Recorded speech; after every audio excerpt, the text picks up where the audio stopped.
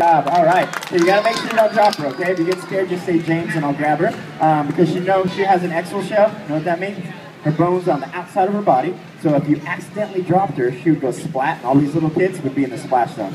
It's not like SeaWorld, okay? So make sure you don't drop her. Um, I did leave out some parts. She does have fangs. You okay with that?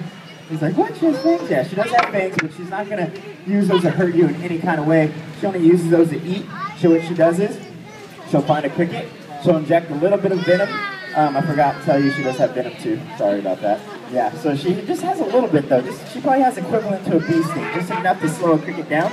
And then she'll actually reverse the process in her fangs, and she'll kind of suck all the insides out like a cricket smoothie. Yeah, kind of nasty, huh? She doesn't eat any of the outside.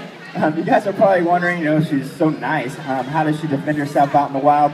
Um, they do this thing called kicking hairs. She has sensitivity hairs all over her body. And those sensitivity hairs allow her to feel sound waves and motion to protect her from her predator or sometimes help her catch prey. Um, but she'll also kick those hairs off. Um, the work is like fiberglass and they'll get to the predator's eyes and nasal cavity and they just get really annoyed with her and they'll only take off.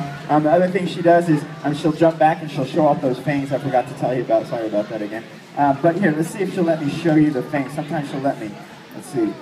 Check them out. You see them? Kind of look like cat claws. You see them? You see them? See 'em? I'm just kidding. You guys see them? Kind of look like little cat claws. The black shiny thing. Yeah. So she'll normally she'll normally show those things off, and then that will scare off the predator. Check them out. Yeah, kind of cool, huh? Um, so if I would have showed you these fangs first, would you would have still held her? Yeah, let's have a high five. Good job, buddy. You can take a seat. Let's have a hand for my brave volunteer. Good job, buddy. You guys know uh,